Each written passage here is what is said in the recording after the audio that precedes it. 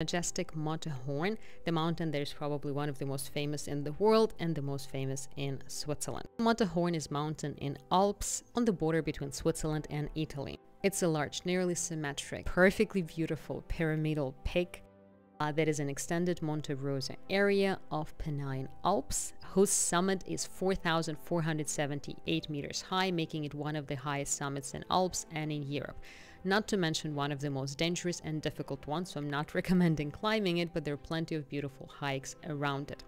Zermatt is one of the most popular regions in Switzerland and the homes to famous Matterhorn.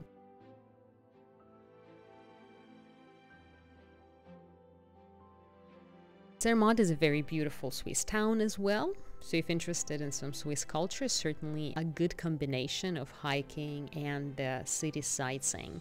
There are plenty of hikes that are leading you to glaciers. There are glaciers here and lakes, so make your pick.